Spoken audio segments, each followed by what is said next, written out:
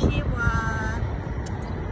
Today's daily devotional is for Friday, March the 27th, 2020, and it's called Little People Make the Biggest Impact on Big People. And I'm going to start with Proverbs 23, 24. The father of a righteous child has great joy. A man who fathers a wise son rejoices in him. Okay, I have a very crazy, fun, multi-talented friend. Um, and he has an amazing voice. And I've been following him on Facebook for like two years now. And um, this guy, he is a single father of like, his son is probably like two years old tops, maybe two and a half or something like that. All right, but um, he's, um, He's from Tifton, Georgia. And um, so today I was scrolling down my um, timeline and I happened upon a video of him and the little boy outside on the porch, okay? And um, the little boy, he had on his cute little summer outfit because it's nice and hot outside, just like it is here today in New York City. As you can see, it's really sunny. Um, but anywho, they were sitting on the porch and um, the, they were just talking and the little boy, um, the dad told him to tell everyone good morning. And so he said good morning and he asked him how he was doing today. And um, he said, I couldn't understand what he was saying, but he told him how he was doing. And then, so the dad, um, the little boy he got distracted like little kids do and he um, he started talking about the clouds. He asked his dad where were all the clouds? And his dad you know told him he said well you know that was yesterday. It's a new day. Um, the sun is out and so the boys started looking up at the sky and they were looking up at the sky together.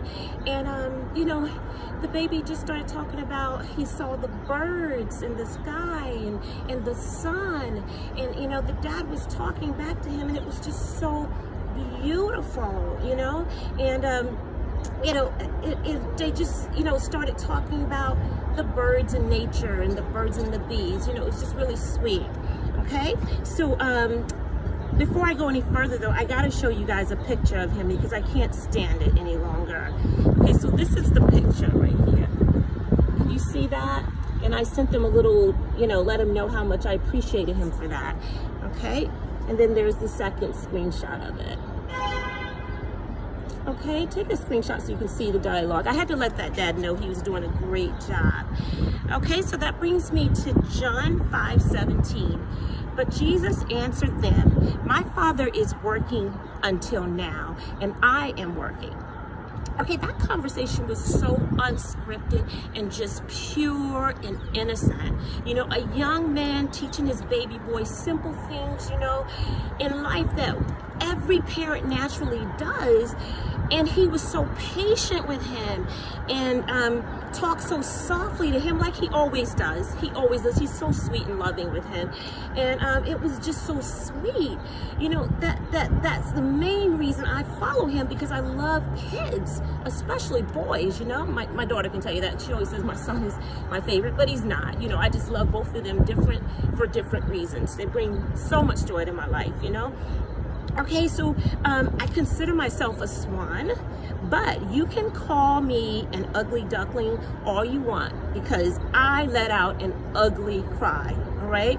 Um, from getting so choked up inside because so many people have died from trying to save other people's lives, you know? It's a lot of that going on. You know, at least I ain't chicken to say that these two brought so much joy to such an ugly day after all the news of death that's been on display. And that's all I have to say besides my power thought and love you guys. Have a great day. Power thought. God will make sure you stumble upon some beauty when you're going through some duty. All right? Insert whatever word you want there. I think you're entitled to do that at this point. Love you guys. Have a great day. Mwah.